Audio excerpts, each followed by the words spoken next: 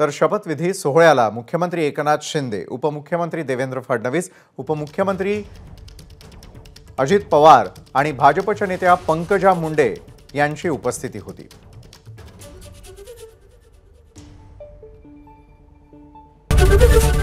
ABP माझा. उघडा डोळे बघा नीट.